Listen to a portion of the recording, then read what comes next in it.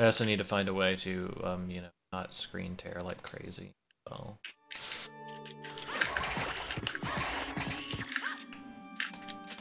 But perhaps some things were not meant for men to discover. It's like, you know when... You know when they talk about, like... There's the pitcher, and he gets injured in a baseball game, and you know, the shitlord commentator's like, well, you know, it's not surprising because, you know, man was never supposed to throw a baseball 100 miles per hour. You know, it's like, I don't think, I don't think the human body was designed to speedrun SotN. Just...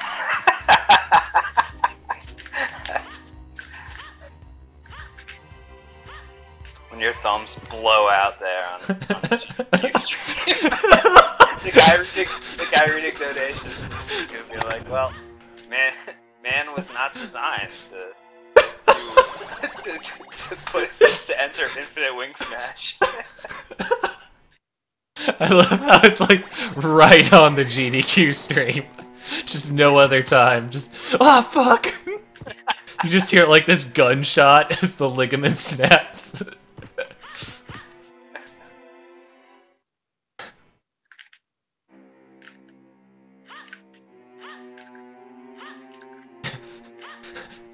the next day, guy comes out with a with a Pastebin saying he's retired from speedrunning.